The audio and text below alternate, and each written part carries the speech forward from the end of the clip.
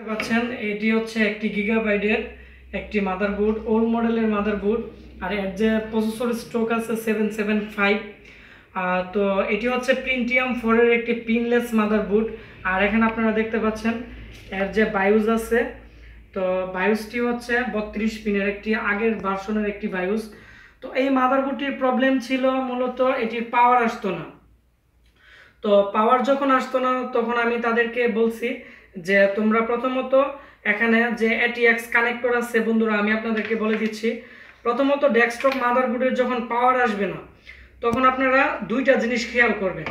কারণ মাদারবোর্ডের মধ্যে একটি আছে, এখানে যে বেগুনি কালারের যে তারটি আছে, এটি হচ্ছে এস বি ফাইভ ভোল্ট এটি, এই বোল্টটি হচ্ছে অলওয়েজ ভোল্টেজ যখন এটিএক্স চব্বিশ পিন কানেক্টর এখানে লাগানো থাকবে তখন এখানে যে বিশেষ করে আমি আপনাদেরকে এখানে দেখাচ্ছি এখানে আপনারা ভালো করে খেয়াল করেন, এটি হচ্ছে এস বি ফাইভ ভোল্ট এটি হচ্ছে অলওয়েজ ভোল্টেজ তো এই যে বিশেষ করে এখানে ফাইভ ভোল্ট আছে এস বি তো এই বোল্টটি মূলত একটি থ্রি পিনের বিশেষ করে রেগুলেটরের মাধ্যমে এটি three point three volt convert হয়। কনভার্ট হয়ে বিশেষ করে বায়ুস, তারপর হচ্ছে এখানে আপনারা দেখতে পাচ্ছেন sound sound IC, LAN IC, তারপর হচ্ছে পিসিএইচ এমন অনেকগুলো আইসি আছে এবং এসআইও আছে, এগুলোর মধ্যে, বিশেষ করে এগুলোর যে বিসিসি বোল্ট আছে, এগুলো দেয় এগুলো দেওয়ার পরে কি হয়, যখনই এর, এই এসআইওর ভিতরে যখন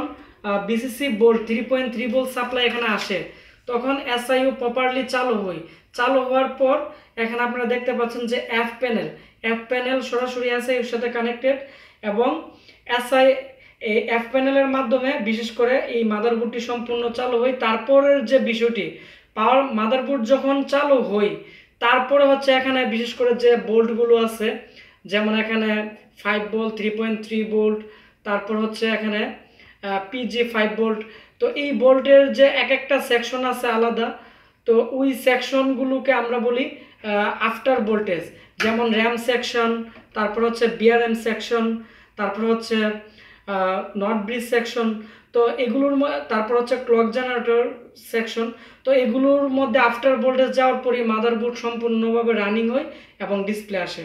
তো প্রথমত আমরা যে যে কাজটি করাইছি ওদেরকে দিয়ে, এটি হচ্ছে মাল্টিমিটার কন্টিনিউটি মোড আমরা এখান থেকে নিয়ে নিছি। তো এখান থেকে কন্টিনিউটি মোড সিলেক্ট করার পর এখানে বিশেষ করে যতগুলো পজিটিভ লাইন আছে, তো প্রত্যেকটা পজিটিভ লাইন আমরা আগে মাপাই ফেলছি কালোগুলো বাদে, যে এখানে বিপ করে কিনা।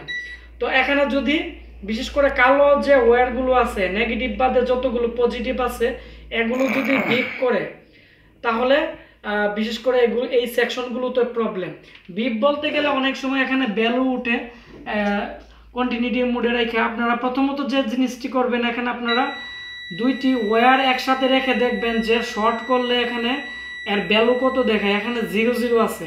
তার মানে আমরা যখন এখানে কোনো একটি পজিটিভ বিশেষ করে ওয়্যারের মধ্যে ধরবো, তখন যদি আমাদের এখানে বিপ করে, তাহলে আমরা সরাসরি বিপ করে, তাহলে আমরা বুঝতে পারব যে এই সেকশনটি শর্ট আছে, তাহলে এই সেকশনটি কোন জায়গায় লাইন গেছে আপনারা এখান থেকে আবার কন্টিনিউটি মোডে আপনারা এগুলো বের করতে পারবেন। তো টোটালি আমরা এখানে বিশেষ করে যে যতগুলো পজিটিভ লাইন আছে, একটার মধ্যে আমরা শর্ট পাইছি না। তারপর আমরা বিশেষ করে ওদেরকে বললাম যে এখানে যে আরটিসি ক্রিস্টাল আছে, এর মধ্যে শর্ট করার জন্য। এর মধ্যে যখনই শর্ট করাইছে মাদারবোর্ডটি অন হয়েছে কিন্তু এখানে জিরো জিরো কোড তখন আমরা এটি চেঞ্জ করাইছি। চেঞ্জ করার পর মাদারবোর্ডটি পাওয়ার আসছে। পাওয়ার আসার পর এই মাদারবোর্ডটি যে প্রবলেম ছিল জিরো জিরো কোডিং তো জিরো জিরো কোডিং কী কারণে হয়? এ- নিয়ে আমাদের একটি ভিডিও দেওয়া আছে। এটি যদি আপনারা দেখেন আরও অতি সহজে বুঝতে পারবেন। তবে আজকে যে মাদারবোর্ডের যে জিরো জিরো কোডিং আছে, এটি হচ্ছে নতুন একটি প্রবলেম যেমন প্রসেসরও হিট হচ্ছে, এখানে যে ফ্রেম রিসেট আছে তারপর ক্লক আছে। প্রত্যেকটা সেকশনই ভালো ছিল। তারপরও জিরো জিরো কোডিং ছিল। তো এই কোডে এই প্রবলেমটি ছিল মূলত এখানে। বিশেষ করে আমি ওদেরকে বলছি যে আমাদের এখানে যে সলিড ক্যাপাসিটার আছে, তো মাদারবোর্ডের আলাদা সেকশনে যে জায়গায় সলিড ক্যাপাসিটার থাকবে, বিশেষ করে সিএমওসের আশেপাশে, তো এগুলো ভালোভাবে টেস্ট করতে হবে। কারণ একটা সলিড ক্যাপাসিটার যদি শর্ট থাকে বিশেষ করে সিয়ামুস সেকশনে অথবা সাউথ ব্রিজ সেকশনে তাহলে বিশেষ করে জিরো জিরো কোডিং থাকে অনেক সময়। তো বিশেষ করে আমরা এখানে আপনারা যে দেখতে পাচ্ছেন যে পোলার ক্যাপাসিটার এই ক্যাপাসিটারটি ডাইরেক্ট শর্ট ছিল। তারপর এটি চেঞ্জ করা হয়েছে। চেঞ্জ করার পর এটি টোটালি ডিসপ্লে চলে আসছে।